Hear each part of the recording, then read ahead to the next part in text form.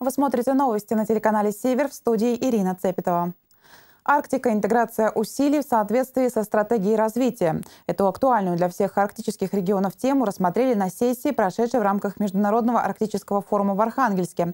Как отмечают эксперты, в теме развития Арктики от разговоров переходит к делу. В частности, готовится к принятию закона и госпрограмма о развитии арктической зоны. Аналогичные документы гуляли по коридорам власти уже 8 лет. Были разные концепции, разные наполнения от экологии до культуры. Сейчас законопроект сосредоточен на развитии арктических территорий через опорные зоны. О том, что это даст регионам и чего, собственно, хотят сами представители арктических субъектов, расскажет Мария Владимирова. Восемь опорных зон, которые отображены в программе социально-экономического развития Арктики, определены по географическому признаку. Кольская, Архангельская, Ненская, Воркутинская, Ямало-Ненская, Таймыро-Труханская, Северо-Якутская и Чукотская. Целью их создания являются производство технических средств и технологий, экологический мониторинг, повышение качества жизни коренных малочисленных народов, реализация информационной политики и другие приоритетные задачи. Каждый из них будет иметь ряд якорных проектов, и, по сути, в дальнейшем бизнес, государство, а, а, население будут планировать свою хозяйственную деятельность путем взаимного использования инфраструктуры, путем взаимного использования имеющихся преимуществ и тем самым снижая собственные расходы на реализацию тех или иных проектов. Вот э, такой механизм предложен, мы планируем его начать реализовывать в самое ближайшее время. Создание опорных зон в Арктике поддерживает губернатор Ненецкого округа Игорь Кошин. По его словам, успех развития таких зон во многом зависит от качества рабочей силы, которая будет эти проекты воплощать. Эффективно развивать Арктику можно только при изменении структуры занятости. На наших нефтепромыслах занято порядка 8 тысяч человек. Но если кто-то считает, что это практически четверть жителей округа, то, к моему сожалению, глубоко ошибаемся. Из 8 тысяч человек наших, бог, 500. Почему? Три причины как минимум. Первое – это нежелание работать вахтовым методом в суровых условиях. Второе – отсутствие необходимой компетенции. И третье – невысокая оплата труда. И я убежден, что компетенция – это наша новая нить. Тогда почему же я нет? Потому что нет профессиональной подготовки, нет мотивации. И ключевое здесь – уровень оплаты труда, в отличие от бюджета, условия в разы жестче. Для реализации обозначенных инициатив на законодательном уровне необходимо отрегулировать уровень оплаты труда рабочим Арктики по аналогии с майскими указами президента для бюджетников. Также важно создавать долгосрочный прогноз востребованности рабочих специальностей, развивать технологии, позволяющие повышать компетенцию, а значит вести стандарт квалификации. Свои предложения в арктический закон высказала и Архангельская область. Как отметил вице-губернатор Виктор Иконников, это консолидированные мнения северных регионов.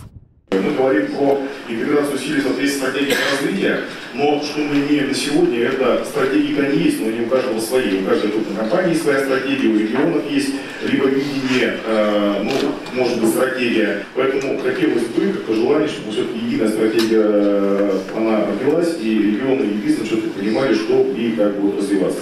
Кроме того, отметил вице-губернатор, необходима консолидация всех структур, работающих в арктическом регионе, особенно в части создания инфраструктуры. Для этого в законе необходимо предусмотреть стимулирующие механизмы. Также необходим и мониторинг о социально-экономическом ситуации в Арктике. Социальные законы в арктических законах должны быть выделены отдельной строчкой, ведь люди – это главная опора арктического региона.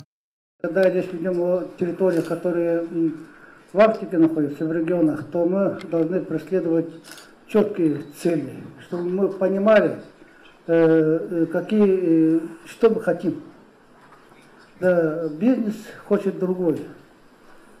Мы субъекты хотим абсолютно другое. Вот я представитель коренных народов Севера. Я живу там. И у меня задача от того, что сегодня мы говорим, одна. Что мне достанется человеку, живущему там, на месте, на севере? Закон о развитии Арктики, государственную программу социально-экономического развития арктического региона сырой называют и депутаты Государственной Думы, поэтому представленную программу отправили на доработку. Сегодня мы ждем принятия, э, вернее, внесения правительством Российской Федерации закон об арктической зоне в Российской Федерации. Его затянули уже до неприличия, на мой взгляд. Э, более того, насколько мне известно, уже дискуссии сегодня ведутся, а нужен ли он или не нужен. Но вот э, та, э, та дискуссия, те дискуссии, которые были вот на площадках, они говорят о том, что закон этот нужен. Нужно объединять законодательство, арктическое законодательство в один непосредственный закон. Нужна программа по развитию Арктики. К сожалению, которую они внесли программу правительства, она не выдержит никакой критики. Мы ее вернули на доработку, приняли за основу на нашем профильном комитете. А, правительство над ней сегодня работает.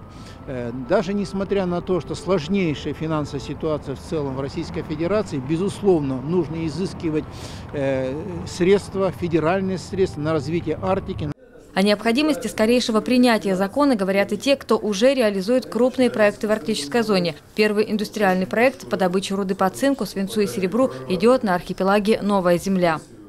Работы достаточно много, но э, хочу сказать, что я чтобы вы услышали, как голос народа. Значит, те проекты, которые э, внесены в Государственный Дом, говорите, все старое собрали вместе, ничего нового не слышу, слышу, но только вы и нас поймите, те, кто старый. Мы уже по 10 лет реализуем проект, по 10 лет. Поэтому чуть побыстрее, чуть побыстрее. К арктическим законам самое пристальное внимание, ведь Арктика – это естественная среда обитания более двух миллионов человек. Поэтому в поправках, которые будут выработаны и внесены в документы, должны найти отражение запросы и чаяния людей, живущих в суровых арктических условиях.